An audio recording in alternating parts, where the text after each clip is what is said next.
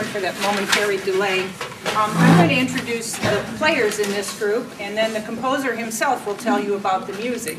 I'm Sylvan Bauman, as you know, president of Grosse Pointe Chamber Music, and I play here a lot. Layla Hamden is a freshman at Eastern Michigan in music education, and clarinet is her main instrument. And she's joined by her cousin, Mason Smith, who is the composer of this piece. Mason was born in Detroit, born and raised in Detroit, and went to college at Berkeley, and is now a graduate student at Stanford University in computer science. And he's going to tell you about how this piece came to be.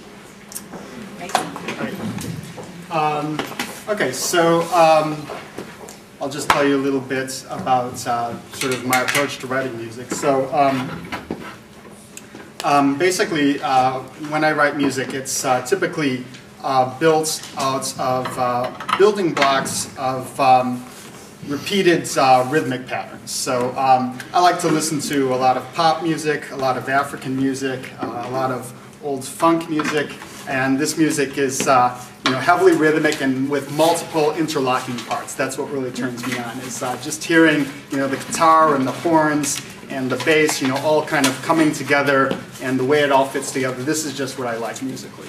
So um, when I started to write music about 10 years ago, um, at first I just made up rhythmic patterns just on the piano. Um, and I was studying Bach fugues at the time, so I learned how to like, you know, play like four voices at once with my hands. And I applied that technique to like playing all the different rhythmic parts and, uh, that, that I would hear in the pop music that I listened to. But for a long time I just composed these rhythmic patterns and I never did anything longer. This is actually the first classical piece that I've written that's longer than a minute and a half. Um, and uh, that's largely thanks to Layla. So at one point I said, oh, let's you know, it'd be fun to write a trio to play with my cousins, and uh, and you know, I'll just you know, I just came up with a little idea, and uh, you know, I got stuck, and but Layla just kept on me, and so four months later, I finally finished it. Um, so anyway, it's built up out of these self-contained rhythmic parts. So like the whole thing, uh, the the germ of it, uh, like the first idea, it goes like.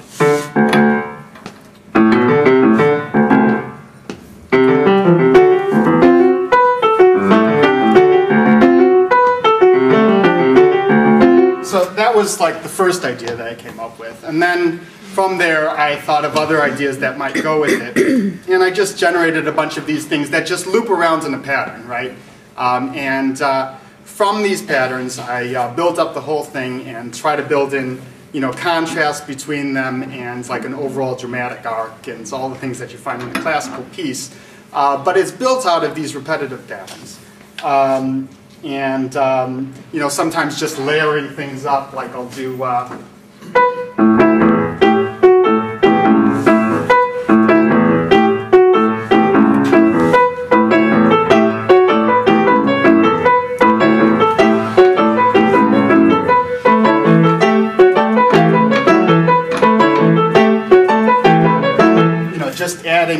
more and more voices to get that pattern of uh, interlocking voices. Um, and um, that's, uh, that's basically how it was written, is uh, just taking these things and arranging them. Um, so it's four movements. Um, there's an introduction, and uh, followed by uh, fast movements, uh, a slower movement, a fast movement, and a slow movement. Uh, the first movement is sonata allegro form. Sonata allegro form, just to give your ears something to hang on to. Uh, the second and third movements are sort of rondo things. The fourth movement is binary form. And uh, that's about all I have to say, and we should start.